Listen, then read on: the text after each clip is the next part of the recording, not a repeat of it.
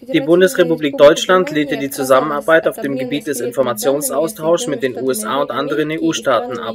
Was glauben Sie, wird Deutschland nun von den USA dafür bestraft?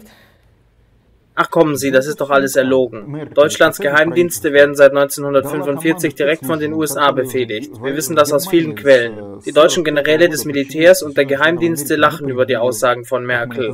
Angela macht ihre patriotischen Aussagen, weil jetzt bald Bundestagswahlen sind und das deutsche Volk diese patriotische Haltung von ihr erwartet. Aber das deutsche Volk kann verlangen, was es will. Das ändert nichts an der Tatsache, dass die deutschen Geheimdienste und das Militär nur Filialen der CIA und des US-Verteidigungsministeriums sind. Mehr nicht. Daher pfeifen die die deutschen Geheimdienste und das Militär auf Merkel und ihre Aussagen, weil ihre Posten und Karrieren nicht von Merkel abhängen, sondern von den USA.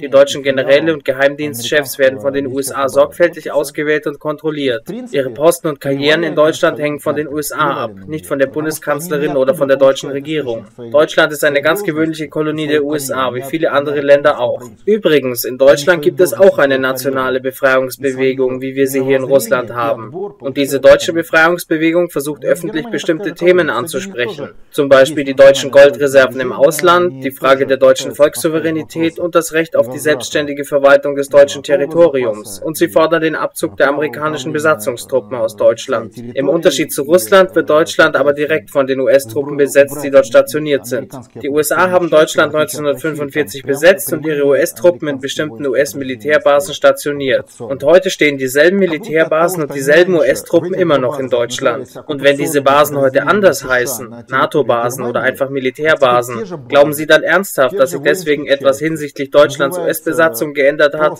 Das ist doch lächerlich.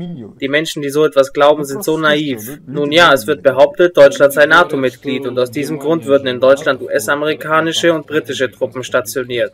Natürlich sagt man das, es ist ja die Aufgabe der US-Propaganda, die Besatzung möglichst schön und kuschelig für die Deutschen darzustellen. Aber in Wirklichkeit steckt dahinter eine ganz simple US-Besatzung. Und Deutschland Deutschland in der NATO wird als ein US-Vasall behandelt und ausgenutzt. Es gibt den sogenannten Suzerän, also Oberherrscher in Washington, und es gibt den Vasall, dem vom Oberherrscher befohlen wurde, ein NATO-Mitglied zu werden. Und wie wir im Falle von Snowden sehen, ist Deutschland ein Vasall der USA. Alle anderen Aussagen von Merkel sind Fiktionen und Lüge.